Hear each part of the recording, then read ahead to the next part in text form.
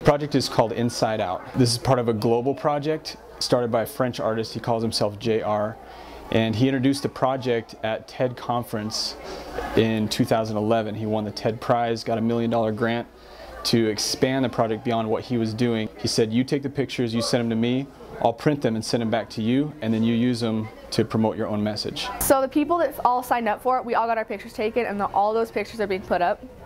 And so like some people did sad faces, some people did happy faces, some people did laughing faces. I believe we're the first ones in Idaho and definitely in the Treasure Valley. No one's done this yet. It's it's something that it shows that we're different, that we we can show ourselves to other people. We can we know that we're we can be different and we know that we can be ourselves. The biggest benefit is when students see the picture of themselves and even though they're not even really trying hard to express themselves, we naturally do that all the time. And being able to look at that picture of themselves taken by a professional photographer, they kind of are reintroduced or reacquainted with themselves and they, they see themselves in a different light.